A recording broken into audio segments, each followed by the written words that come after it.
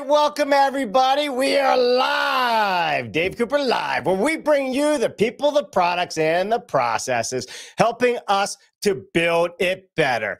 Today, National Association of Home Builders pledges to tackle the housing affordability crisis and key issues to enable a robust housing market. But what does a robust housing market actually mean? How does this work? Benefit builders of all sizes across the country and protect our home owners. Today, we welcome Chair of the National Association of Home Builders, Alicia Huey, as we dive into the home builder headlines and potential solutions for high interest rates cost and scarcity of skilled labor, and buyer expectations today on Dave Cooper Live. But before we hop into all that awesome stuff, we cannot bring you all these informative conversations without our sponsors. So be sure to say hi to them as well. Forward Solutions Group is successfully driving companies to succeed where others have failed. Are you looking to start a factory?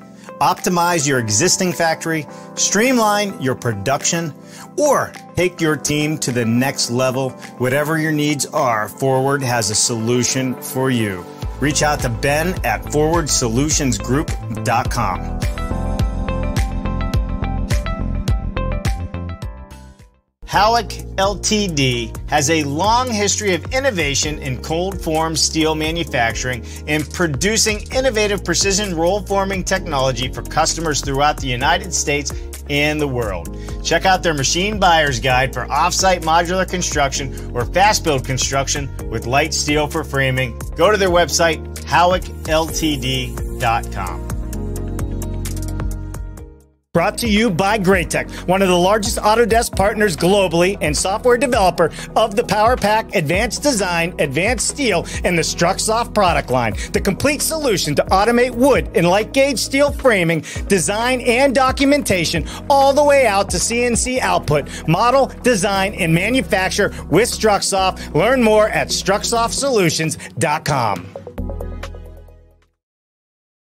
All right. Listen, thank you to all of our supporting members that are out there. And please take a moment to go and thank them as well. We cannot continue to do what we do without them. So before we get into it, we're going to bring Alicia on. I want everybody to know there is a QR code right here, there above me. That's going to be on the screen the entire show. That's right. We're giving away 28 that's right, 28 free expo passes to the big show, the International Builder Show 2024, coming up at the end of this month. And three of those tickets come with the full education sessions. And that's an $875 value for all of you out there. So take that QR code, click on it, and make sure you sign up for a chance to win. All right. Without further ado, let's bring on Alicia here.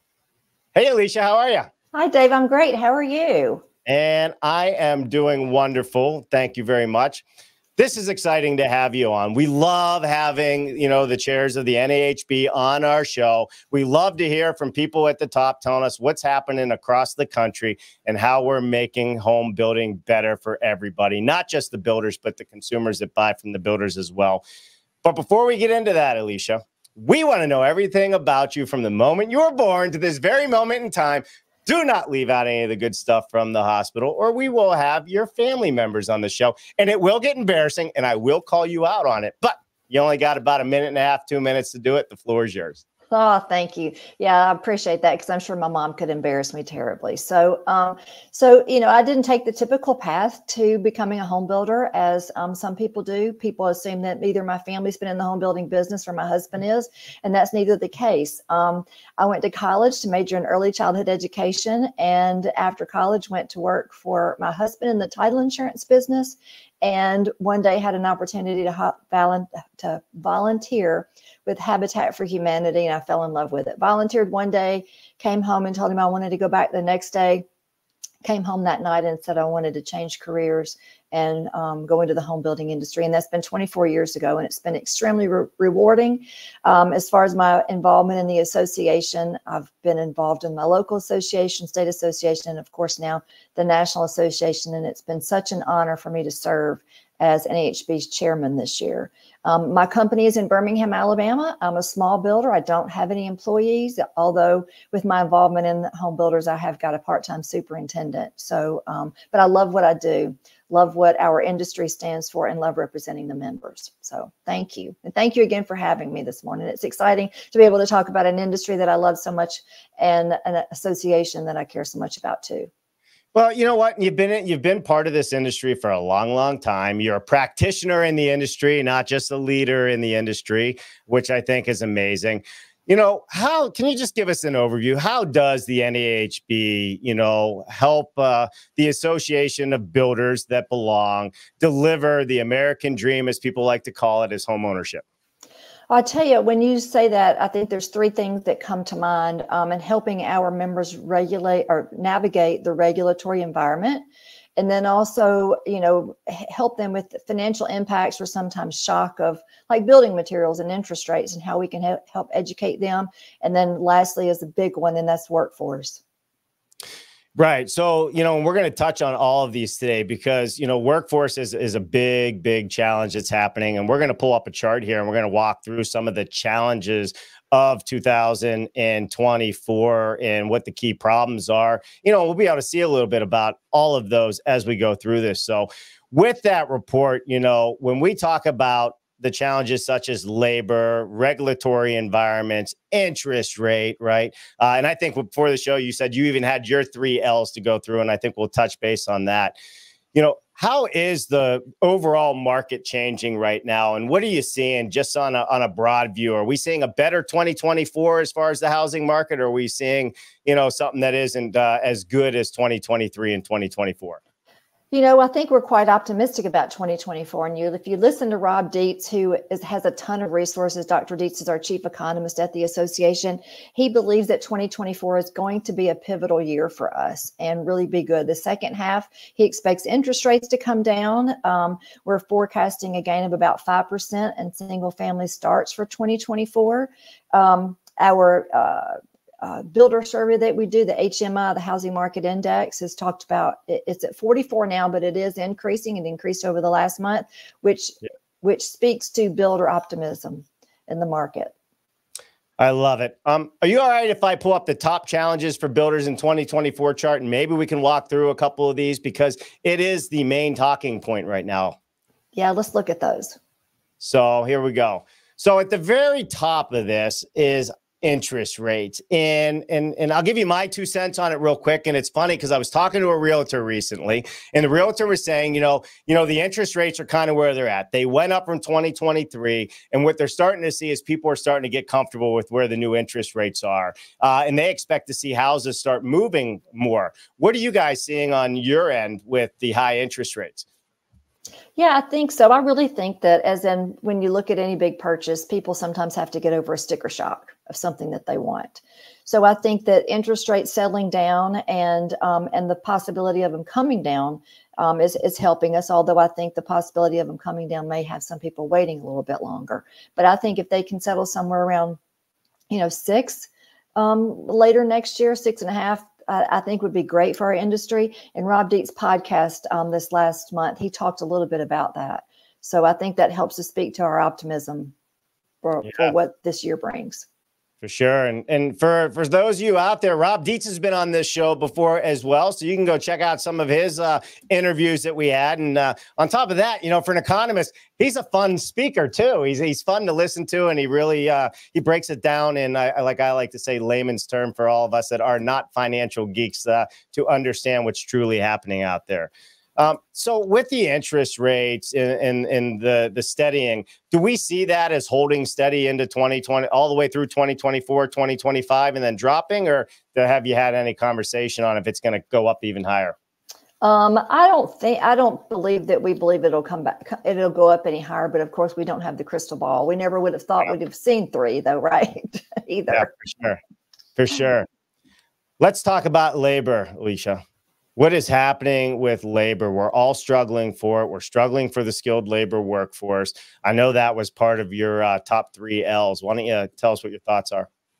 Yeah, labor is, is tight, especially those those extremely skilled um, subcontractors, electricians, plumbers, HVAC guys and, and gals. Um, that's getting tougher. Um, our Home Builders Institute, uh, HBI, is working um, to train people and, and get them out there. We have, you know, workforce development. A lot of our associations across the country are working on that, even developing curriculum and facilities where they can train people and, and work the trades I think that we also need to change the mindset of parents. That's a big one is to change the mindset of parents that a four year college degree and student debt is not always the way to go. Um, you know, for me, if I, I could have saved my money, my, my parents a lot of money in, with college if I'd just gone straight to home building and not uh, looked into early childhood education. So yeah, you know what? You know, it, I could have saved my parents a lot of money and headaches too if I knew what I wanted to do at a very young age. But I mean, it's kind of like what happens over time, you know, and and and how we move forward in life for sure. You know, the the workforce development side of this is interesting because even on our show, we are seeing more and more trade schools coming back. Finally, we're seeing more awareness for the workforce happening. Um, are you guys also seeing that with HBI and others? We are. I mean, our associations are all working very hard to bring that to the forefront, make everyone, make sure that there's more people aware of the opportunities available in the home building industry. I mean, no, it's not just it's not just the plumbers and electricians. It's all the people that sell all the products that go into the house, all the people that manufacture those products. So there's so many opportunities, broad. Yeah, there definitely is a lot of opportunities moving forward, and it's a great place to be in. We we highly promote it, highly promote it. I don't know if that's the best way to say it, but that's what we do on the show is we promote the daylights out of bringing the young people back into the trades. So as we go through this list, Alicia, you know, one of the other big things that has happened that has put housing costs through the roof has been building material prices. Um, am I seeing some good news on this chart, or is it still getting worse? Well, it looks like this speaks to our builder sentiment and that, that index that we do. When you look at 23, uh, 24 compared to 23 right now, it looks like we're um, thinking it's, it's coming down a little bit. I think that, that prices have stabilized. Now, I don't believe that prices are going to go back to the pre, pre-pandemic prices at all, but I think that they have stabilized. Great, great. And and with that being stabilized, you know, and the interest rates, you know, still going up. I mean, it still it still poses a bit of a bit of an issue. What are you guys feeling from your builder members right now with that? You think are we going to see a, a, a stellar year, or is it just really going to kind of stay status quo this year on the number of housing units that we're doing? No, I think that well, we still have what a million and a half um, behind in building that we housing that we need, but we have predicted that there's going to be a five five percent increase in starts this year of new five percent increase in starts. Wow, that's a good number. Yeah. yeah, yeah, that is a good number. You know, with starts, you need land, right? And and again, I'm speaking from my own self here because recently moved back to Pittsburgh, Pennsylvania, and uh, you know, trying to find land to build on uh, or develop uh, is becoming more and more scarce. You know, so when we look at some of the, you know, the availability of developed lots, what are you guys seeing? It has gotten really tight, and and a lot of that has to do with restrictions from different counties, municipalities, states. Um, so those are the conversations that we're also having with our local and state and federal leaders about um, zoning laws and those sort of things to help us find more property that we can develop. Got it. And tell us a little bit about how you how you work with you know your local and states on the zoning laws and and how that actually comes into play and what does the NAHB actively do to do that? In fact, overall, like you know whether it comes to interest rates or uh, you know zoning rules and laws, I mean you guys play a major role in in working and lobbying for builders' rights in all the different states, not just in Capitol Hill. Correct? That's correct. Um, in my time as a um, NHB chairman this year, I've had several opportunities to meet with um, community leaders, and that's mayors and city councilmen, but then also governors to talk to them about laws that that that their states or municipalities and counties enact that restrict home building so much. And I, you know, it's not that we're home builders are not against laws and regulations. We need those for safeties and affordable housing. But let's come to the table and have a conversation about what makes the most sense. Let's make it work for everybody so that everybody can be happy and that we can build more homes. I think a lot of, uh, in some cases, governors are seeing that economic development can't come into their state because there's not enough housing for economic development. So there's a lot of, um, a lot of resources that our association offers and in the lobbying that we do and conversations that we have to try to make sure that they're aware of there are other avenues that they can go to and different creative ways that we can come about looking at zoning uh, regulations and laws in those states and municipalities. So when you're looking at relax, I mean, uh, you're kind of saying you're you're hoping that they can relax the zoning laws to allow for more density. Is that kind of what we're we're looking at? And also, does that include granny flats, ADUs, dwelling units? I mean, is it is it across the board when you talk about how do you get? I mean, how do you even get a state to listen to you? You can't even get them. I can't even get them to open the door for me half the time. I think that our National Association of Home Builders has one of the most respected lobbying teams in DC. So to some extent, that's an easy thing to do. And when you talk about home ownership, we're fighting not not for us, but for the reality of home ownership to make it not so make it affordable and attainable for the American people not just and that is in zoning laws. And it, yes it is in density. We have some municipalities that want to increase lot size and not decrease lot size. But there's a smart way to go about it you know having multi um, use um, properties and things like that we just want to be a resource not not the the thorn in somebody's side when it comes to housing yeah, and I mean, I think that's a I think that's a great point to put out there because you can be a resource to these states. So if there's some uh, state lawmakers out there listening to this, um, it's not really a battle and a fight. It's really how do you collaborate, work together to do what's right for their local communities, right, as well as exactly. what's right on a national level, and how can the national level help you know establish the rules regulations that can maybe help them relax what they need to do to allow more housing and, and get people off the streets. There's so many people on the streets these days. It's horrible. Yeah exactly. Yeah it really is it really is horrible. So with that you know we talk about you know how the nhb helps with relaxing the zoning laws. How about with the builder members themselves? How do you help them uh, manage the financial impact you know of the rising interest rates of the material cost rates you know what what do you do on that side to get them to you know find better ways to build and offer you know a more affordable home you know to their home buyers yeah, I think the association has a vast array of, of ways that we can help. And the biggest one is education, educating our members, making sure they understand what's coming down the pike. But then also, um, We've got toolkits. We host webinars to help members navigate, you know, all those ebbs and flows of, of economic impact and how that how all of that will affect their business and their bottom line, and housing affordability.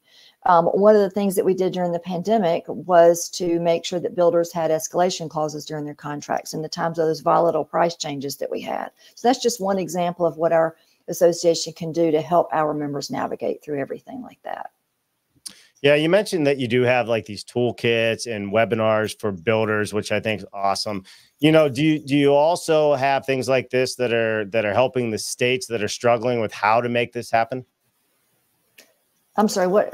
Uh, so, for instance, like, so we educate the builders and going back to your regulatory, you know, uh, in helping to relax the zoning laws, you know, are there tools for the states to use with the NAHB as well to, to help look at how they can do some of those things? Or is that in the works as far as putting the education out there? Oh, absolutely. Yes. Of course, education um, for states, local associations, absolutely. It is out there. The NAHB is a huge resource for all for all of our members, yeah, and for yeah. our state and local associations too, yeah. Yeah, for sure, for sure. So I love it. So with that said, you know, Alicia, you know, some of the things that you're working on, and maybe that's kind of where I want to jump in, and then we'll get back to our chart. You know, what's been your pressing issue since coming into office as chair? You know, uh, individually that that you really would like to see change and make better. Um, you know, when I uh, in this position, you campaign for this position, and one of the things that um, that I talked about was making sure that our codes became were, were more common sense. I almost feel like we've gone in the opposite direction of that um, because codes have gotten, uh, I, am sorry, in my opinion, a little bit out of hand when you think about electrical codes and things like that and energy conservation codes and all of that. I, if we could just come again, come to a conversation of what makes the most sense for different areas, because um, we have we get it from the national, you know, from federal level to the state level, the level to the local level, all the um, uh, fees and things that are added um, onto the price of, of building a home. I think that somewhere we've talked about it's 25 to maybe even 30% of the cost of a house is regulation. If we could get regulation under control, it would help the, the, the attainability of the American dream for a lot of people. You know what? I completely agree with that. And I think, you know, sometimes we can get too far over our skis with trying to do the right thing, which ends up makes it, making it harder for so many people out there to get what they truly need to get done for housing, to build housing, to buy housing, you know, all of the above. So I appreciate that very, very much. And I think that, you know, the more we keep having this this type of conversation, because it's state by state, every state's different. There's some there's some areas in Pennsylvania that don't even need a permit to build still, right? Uh, right. But then other states, I mean, you you can't even, you know, uh, you can't even get a permit. It seems like. Right, and when you think about well, oh, when you think about when you think about some municipalities, think, oh, it's only hundred dollars, or only it's two hundred dollars, or only it's three, but they all add up to thousands of dollars. So we really need to think about those just little increments when we look when we talk about the cost of housing. Yeah, I, I 100% agree. All right, let's go back to our chart here and get back on uh, on track. You know, um, you know some of the different things, and we hit on some of these, right? Difficulties of attaining uh, zoning permit approval. That's one of the things that we did talk about, and we talked about you know the concerns about uh, employment and economic situation we hit on that and local state environmental regulations. That's something i definitely want to hit on real quick is you know in the environmental regulations that are coming out how do we build it better? How do we build healthier more sustainable? How do we get our homes to be uh, using less energy? Uh, do you see that as a focus moving forward here in 2024 I do. And the conversation that we've had um, nationally is new construction is already extremely resilient and um, tight, you know, uh, as far as energy efficiency. So let's look at the existing housing stock. How can we incentivize people to put in, you know, ramp up their insulation, replace windows that are energy efficient, doors that are energy efficient, do things like that They can help the existing housing stock and the existing homeowners. I've asked, um, and our members have nationally, if there's some sort of a tax incentive that we can give to members that would do, I mean, I'm sorry, to the American people that would do something like that. Replacing, if they got to replace their HVAC unit, let's increase the efficiency of that. Offer some sort of a tax incentive so that we can not only help the um, energy conservation and global warming and that sort of thing, but also help the American people with the cost of their utilities at the same time. And then you also look at regulations like WOTUS. Um, I think that we are making some headway with that. I thought Waters of the U.S. was something I didn't think we'd still be talking about today, but we are. Um, but there, some of those restrictions just got so ridiculous. Um, I talked to one customer about putting a fence in their backyard somebody had built a house for, and you know, two doors down, there was a drainage ditch. And I'm like, do you realize what we'd have to go through to just to put a fence in your backyard to dig a post, dig a post, dig for a post to go in right there. It was, it Can just got a little out of hand. WOTUS a little bit, just so our audience knows what that's about. Well, I'm sorry, that's waters of the U.S. So the restrictions came down to um, not just whatever was going directly into, you know, what was considered waters of the U.S., but a mud puddle became a water of the U.S. So, um, like I said, the right. the water that this particular one I was talking about, there was a drainage ditch, drainage ditch between two houses. Only had water in it when it rained. Then, but that went into a creek that was Birmingham Waterworks property, which ran in. You know, so that's something that you can't affect. But I could, I would have to get a federal permit that would take me two years to put this fence in at the restrictions that they had. So understood. Right, right. It says you, you, from a natural rot or runoff, you can't do any building or or damage right. the soil or disturb it within so many feet. So I hear exactly what you're saying. It's kind of like the wetland laws that uh, yes. are across the United States as well. Yes. I'm going to pivot a little bit here. Let's talk about you know the devastation that happened in Hawaii. Um, and can you tell us a little bit about how the NAHB has participated in those recovery efforts for the fires that took place out there?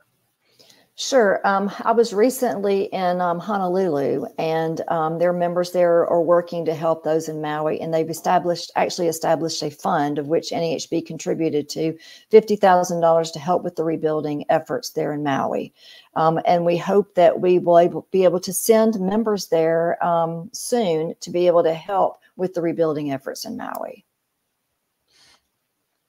So with you know with sending the the members and and and and helping with the with the efforts, can you can you dive into that a little bit more? Do you know any of the intricate details on how that actually helps out helps and comes together? Um, no, I don't. We are still working on preliminary things and, and, trying to find the best way that we can fit in to get down there and, and help help them with their recovery efforts. Just right. so devastating when you think about everything that's happened down there you know did, did did this experience change the way that you think about home building at all? You know uh, your boots on the ground you know were there any learnings uh, that maybe you could apply or you could share with the audience?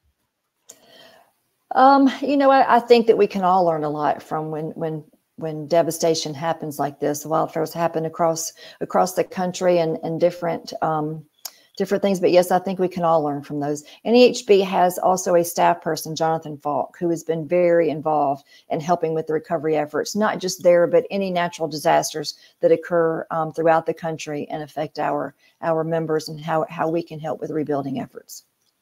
Got it. So well, levels. I love it. I know we're gonna. I know we're gonna see a lot about the recovery efforts and people that are helping at the International Builders Show, which I'm super excited about. You know, there's a lot of companies out there that are, are really focused on, you know, uh, homes that are safer to build in fire areas, you know, that are fire prone areas, high wind areas, you know, hurricane areas. And I think this is going to be one of the, the big topics that I see while I'm out there. And I'm looking forward to talking to people about. What is it that you're looking forward to at the International Builders Show? Oh wow, I'm so excited. I can't believe that it's that it's time for the International Builders Show again. I love the networking that we have during the show, but the one thing that I always look for is a startup zone. Those new products, I think that's going to be really exciting to see this year. Always something new and, and exciting to see there. Yeah, yeah. Well, hey, listen, the startup zone is my uh, my thing. I love the startup zone, and we have found so many innovative products there. Plant uh, planted was there. Bot built last. I think this was last year as well, and they're all making headlines across the uh, across the country, if not the world. And the best part about it was everybody pretty much learned about them at the startup zone. Uh, I was uh, fortunate enough to be able to do the 412 pitch where 12 of those companies had four minutes. And Alicia, it was great. You want to know why it was so great? Why? If, if they went over their four minutes, I I got I had a, don- a gong. I was able to gong them off the stage. It was like oh, a game no. We we had so much fun. But what's so great about it is it was such a success last year that now this year it is a super session. It's on the big stage. Uh, there's going to be a lot more companies. I'll be hosting it again, and I'm super excited to to be part of that because you're right. The startup zone has become the place to be at the International Builder Show. Yeah, very exciting. You know, we have over 1,700 brands and companies that are going to be sharing their latest just throughout the show in general. This is going to be the biggest show in um, more than a decade this year. And it's the 80th anniversary of the International Builders Show and the, the 11th anniversary of Design and Construction Week. So lots of things happening. Yeah, you know what? It is a big show. And I'm going to put it out there for all of you. There is a QR code right above Alicia over there in the corner. So you want to, let me see if I use my other hand that way. Uh, so take your phone out, take a take a photo of it. We are giving away free access passes to the International Builder Show. We're also giving away three access passes with the full education session. And again, that's an $875 value. And by the way, those access passes, the other 25, they're worth a few hundred dollars each, whether you're a member or a non member determines that number. So uh, it's a great value, and we're hoping to see you at the International Builders Show. It was an amazing, amazing place uh, to be last year and the year before and the year before and the year before, and we're looking forward to it this year. Um, Alicia, are you going to be speaking there or up on stage doing the introductions? What's some great fun? And you know, is there any insider knowledge you can give us? I think I'll be up on stage a couple of times, but um, for those three people that are going to win those educational passes, there's over 120 educational sessions that you have the opportunity to go to. So, um, opening ceremonies is um, I, I will be there at the opening ceremonies and speaking and welcoming everybody to the show. And our entertainment for that show is going to be the magician Mat Franco excited to see what wow. he has in store for us. Yeah, that's going to be pretty exciting. And then um, on Wednesday, I believe it is, we have the meeting of the members. That's where you can hear from Dr. Dietz and Jim Tobin. He'll give us a kind of a legislative outlook and maybe some predictions for this year. So that's going to be on Wednesday morning, um, and that's going to be a, a sought after um, show. Uh, draw there to hear the two of them come up and speak. And then um, the Spike concert, if you're a Spike ticket holder, is going to be Cole Swindell, and that'll be on a Thursday evening. So, and in between that, there's going to be a lot of networking, a lot of YP party. Um, uh, I can't remember. There's just going to be networking everywhere. You know what? And, you're absolutely right. And I know you're in the thick of things, and your mind probably has 10,000 different places that you've already been asked to go. And I will tell you, you have to plan. If you're coming to the International Builders Show, unless you're just looking for something to do and walk around, just show up. But if you're going to go and you truly want to learn about things and see things, it's a big show. You got to plan. It's over a million, at least it was last year, it's over a million square feet of show floor. Uh, that's a lot of walking. I know my uh, my my dogs were hurting last year after I was done. That's right. It is over a million again this year. And um, it's actually going to be in six distinct categories kind of like um, all the flooring will be together, all the plumbing will be together. So they won't, you won't have to walk a million miles to see, to see those. So that's, we've um, segmented it this year. Yeah. You know what? I think that's I think that's a really smart thing to do, right? Because again, people are there for specific reasons. And when you can make it easy for them to find what they're looking for versus all being intermingled, I, th- I think there's a lot of value to that. And this will be the first year that you've tried it. So let's uh let's uh yeah. let's watch and see how this all comes together. But it sounds like it should be the right thing. Yeah, it's going to be an exciting show, no doubt. Alicia, is there anything that we haven't touched on or anything that you would like to say to our audience uh, before we wrap up here today? Um, you know, I think that if we have people that are listening that are not a member of the association, I, I, really want to encourage you to look in becoming a member of the association. We'll have opportunities. There will be a membership booth at the International Builder Show. I encourage you to stop by there and just have a conversation with somebody.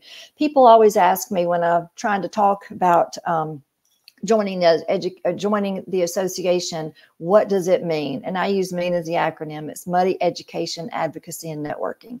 We either make you money or save you money. All the advocacy that we've talked about and the regulations that we try to fight for you on the um, uh, national level, federal, state, and local level as well.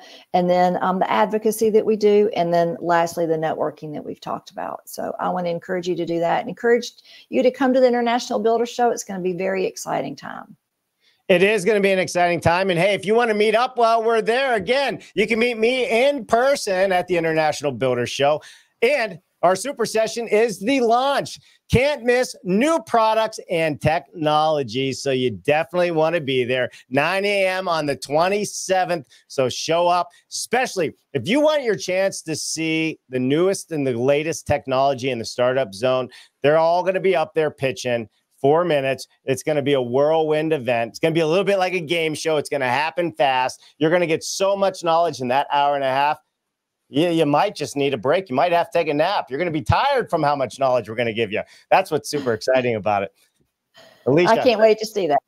Yeah, it's it's gonna be it's gonna be a lot of fun. And again, click on that QR code if you want your chance to win some free event passes to include one of those expo passes that'll get you into the super session. So come on, we'll have some fun with it. Um, Alicia, thank you so much for joining us today. I really appreciate having you on the uh, Dave Cooper Live show. This is awesome. And I'm hoping during your tour as the chair and as you update the presidents and secretary of housing and all the cool things you get to do as a chair you can come back on and share where we're where we're headed and where we're going throughout the year because i, I just think you know it's so important for people to hear from the leadership uh, in this industry uh, and give them a chance to put in the comments ask questions all those fun things that are happening out there uh, and you got people look at this look they like you Greg Ugaldi, keep up the great work, Alicia and DC Live. You got people watching here. I love it. Who is this? We got Mary Jo Quay, and they are exploring alternative building solutions that we can learn from as well. So, very good. The people are out there, they're listening, they want to hear from you. So, I appreciate it. So, you stay right there. Don't go anywhere. We'll come back to you at the end of the show here to wrap up after our outro. And for the rest of you out there, make sure you click on that QR code. Make sure you click on the comments in the link. You can fill out the form for your chance to win one of 28 free expo passes, and three of which that have the education sessions. So, with that said, here's a few more words from our sponsors. So, make sure you say thank you to them. Alicia, you don't go anywhere. I'll come back after the outro, and the rest of you have an awesome Monday because you know what? You got four and a half more days to build it better. It's just the start of an awesome week. Let's keep doing it and let's keep communicating. I'm Dave Cooper. Thanks for watching. What an amazing show. Thank you to all of our sponsors for helping us to continue to bring all of these innovative conversations to all of you out there. Please visit them, see what they have to offer you, and as always, subscribe to the YouTube channel and ring that bell. It would mean the world to us. I'm Dave Cooper. Thanks for watching.